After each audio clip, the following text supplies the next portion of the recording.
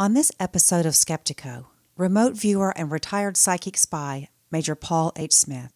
So Ronson himself is on record that he only cared about the people, not about the, the phenomenon. Um, but that's because, uh, as I think you said on your interview, that he didn't actually believe in the phenomenon. And uh, he, he said something about not uh, he he hadn't seen any evidence that convinced him. I, I know I'm paraphrasing here. I'm not exactly sure how he said it. But he said he hadn't seen any evidence that convinced him. In fact, kind of just the opposite. The fact is, he never saw any of the evidence. He never looked into the evidence. You know, he might have listened to some of the stories, but he, of course, was able to dismiss those because when we did tell him credible things, and he interviewed me at length at the remote viewing conference, and uh, I presented, I tried to present some real bottom line, fundamental, this is how it really was, these are the kind of things that we did, that kind of stuff. None of that shows up in the book.